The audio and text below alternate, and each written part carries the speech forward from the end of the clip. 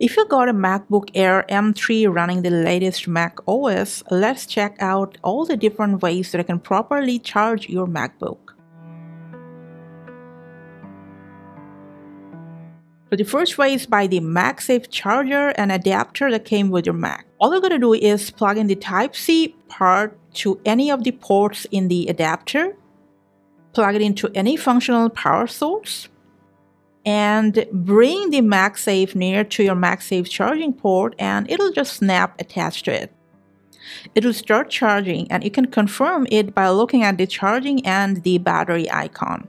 Also, if you have enabled widget on your screen, you can see if it's charging right away along with the battery percentage. In case if you forgot your charger at home, you can still charge them with preferably an Apple approved Type-C cable and adapter just plug in the Type-C cable to any of the Type-C port right under your MagSafe port.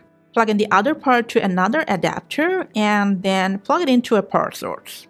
So these are the ways that you can charge your MacBook M3. Thanks for watching.